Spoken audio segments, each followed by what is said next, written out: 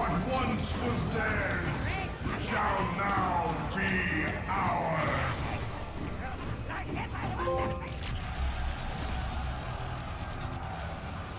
Good.